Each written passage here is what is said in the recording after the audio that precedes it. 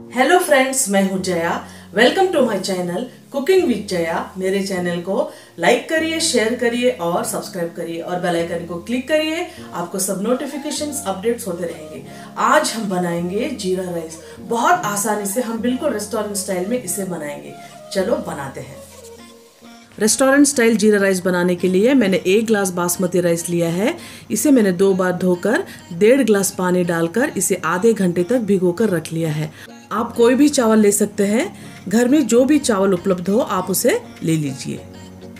अब हम शाहजीरा और जीरा को दो मिनट तक पानी में भिगोकर रख लेंगे तड़का लगाने के पहले। देखिए, ये चम्मच से मैंने एक चम्मच जीरा लिया है और आधा चम्मच शाहजीरा को बस दो मिनट तक हम इसे भिगोकर लेना है। अब हम मसाले लेंगे। देखिए, मैंने तीन से चार तेज पत्ता लिया है, एक चार पाँच लवंग, एक चार इलायची छोटी चम्मच से आधा चम्मच मैंने काली मिर्च लिया है, थोड़ा सा दालचीनी और एक स्टार। और एक मीडियम साइज़ पैच को इस तरह से बारीक लंबे काट कर ले लीजिए। अब हम गैस ऑन कर लेंगे और एक कुकर रख लेंगे। जब वो हल्का गर्म हो जाए, उसमें एक टेबलस्पून तेल डालेंगे और एक चम्मच मैंने घी डाला है। घी ज़रूर डालिए, इससे बहुत ही बढ़िया टेस्ट आएगा। फ्लेम को एकदम सिम पर रखिए। अब हम तुरंत ही उसमें खड़े मसाले डाल देंगे। बस आधे मिनट तक इसे फ्राई कर लीजिए।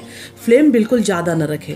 अब हम इसमें शाहजीरा और जीरा डाल देंगे। देखिए, जो हमने दो मिनट तक भिगो कर रख लिया है, छन्नी से छान कर पानी निकाल लीजिए और जीरा और शाहजीरा डालकर सिम पर दो मिनट तक इसे फ्राई कर लीजिए। अब हम इसमें प्याज डाल देंगे और मीडियम फ्लेम पर इसे हल्का ब्राउन हुए तक हम इसे फ्राई कर लेंगे। इसे आप one of the quickest recipe बोल सकते हैं। बहुत ही तुरंत बन जाता है।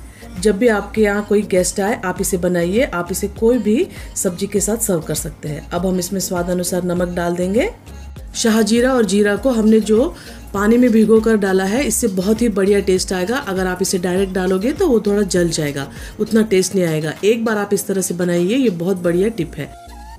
प्याज हल्के सुनहरे कलर के हो गए हैं। बिल्कुल हमें इस तरह से चाहिए। मैं ये सब मीडियम फ्लेम पर कर रही हूँ। अब हम इसमें अदरक लहसुन का पेस्ट डाल देंगे।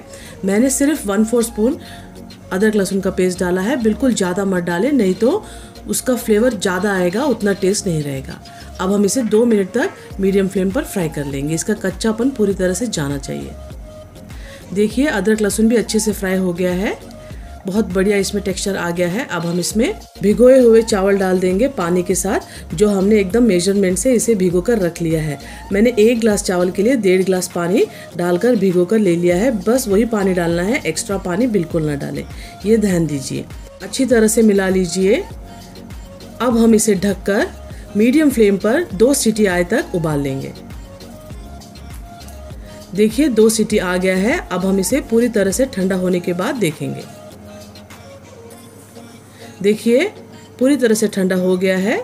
अब हम इसे एक बार खोलकर देख लेंगे। बहुत ही बढ़िया हमारा जीरा राइस बनकर तैयार है। देखिए कितने खिले खिले हमारे चावल बनकर तैयार है। मैं आपको एकदम परफेक्ट मेज़रमेंट से बता रही हूँ। एक बार आप इस तरह से बनाइए, आपको बहुत पसंद आएगा। सारे मसाले ऊपर आ गए हैं। हल्के हाथों से, बिल्कुल हल्के हाथों से एक बार इसे अच्छी तरह से ऊपर नीचे मिला लीजिए। अब बिल्कुल रेस्टोरेंट लुक आने के लिए एकदम बारीक कटा हुआ हरा धनिया डालकर एक बार आप इसे मिला लीजिए। मैं आपको सर्व कर कर बताऊँगी। देखिए, बहुत ही टेस्टी हमारा रेस्टोरेंट स्टाइल जीरा राइस बनकर तैयार है। जीरा भी हमारा बिल्कुल जला नहीं है और उसका कलर भी एज इट इज़ मेंटेन है और उसमें से बहुत ही बढ़िया खुशबू आ रही है। एक बार आप इस तरह से जीरा और शाह जीरा को भिगो कर बनाइए, आपको बहुत पसंद आएगा। आप इसे कोई भी सब्ज़ी के साथ ले सकते हैं, जैसे दाल फ्राई, आलू बैंगन की सब्ज़ी या कोई भी सालन जब बने, आप इस तरह से जीरा राइस बनाइए और मेरे चैनल को लाइक करिए, शेयर करिए और सब्सक्राइब करिए और बेल आइकन को क्लिक करिए, आपको सब नोटिफिकेशंस अपडेट्स होते रहेंगे। Thank you for watching this video